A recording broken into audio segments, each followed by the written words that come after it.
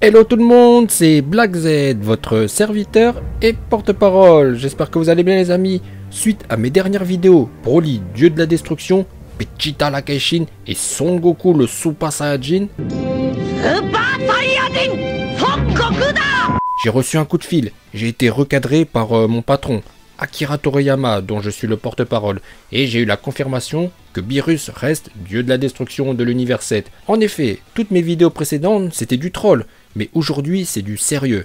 Même si en soi, il n'y a aucune révélation et rien d'extraordinaire, car c'est logique que Beerus reste Akaishin. Dans cette vidéo, je vais vous expliquer pourquoi Beerus va rester dieu de la destruction de l'univers 7 ad vitam aeternam, et que ni Vegeta, ni Broly, ni Son Goku ne peuvent lui prendre sa place. Tout d'abord, sachez une chose les amis, le seul cas de figure où Beerus pourrait partir et laisser sa place à un jeune, c'est qu'il émette le souhait de prendre sa retraite, comme Vermouth pour l'univers 11, qui part à la retraite et laisse sa place à Topo le Chauve. Or, Beerus n'a jamais émis le souhait de partir, et non seulement il n'a jamais dit qu'il envisageait de prendre sa retraite, mais en plus, à plusieurs reprises, il a dit qu'il aimait bien son job de Akaishin. Donc, il n'est pas prêt de lâcher son fauteuil. Faut dire que le titre de dieu de la destruction est une place prestigieuse. Protecteur et garant de l'équilibre de l'univers, le dieu de la destruction est aussi l'être le plus puissant de l'univers. Même s'il y a une exception avec Jiren qui est plus fort que Vermouth grâce à son crâne chauve aérodynamique, le Mikate no mais c'est la seule exception. Sinon, personne ne peut tester l'Akaishin. Voilà pourquoi je vous ai dit un peu plus tôt que le seul cas de figure où Beerus cède sa place, c'est qu'il parte en retraite, car personne ne lui prendra par la force et personne ne le tuera.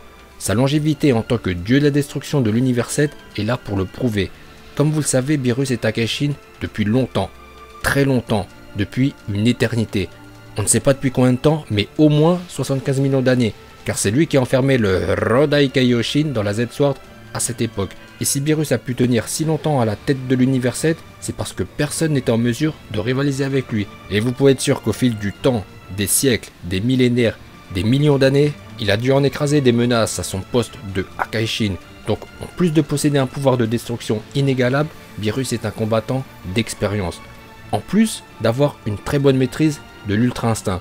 On l'a bien vu lors du Battle Royale à 12 Akaishin, où au début c'était du 11 contre 1, tout le monde s'est mis contre lui, et il nous a prouvé qu'il maîtrise très bien l'Ultra Instinct, sans toutefois le maîtriser à fond. Et normalement, il n'y a qu'un seul mortel qui peut le battre, c'est Son Goku Ultra Instinct maîtrisé. Et peut-être Jiren, mais c'est pas sûr. En tout cas pas Broly, croyez-moi, même s'il a essayé de raser les cheveux de Gogeta avec cette attaque, Broly n'a ni l'expérience, ni le sens du combat que possède Beerus. Et ça c'est très important, c'est un des points forts de Beerus qui est doué pour le combat. On l'a souvent vu se battre et Beerus a un bon style de combat, alors que Broly n'est que force brute.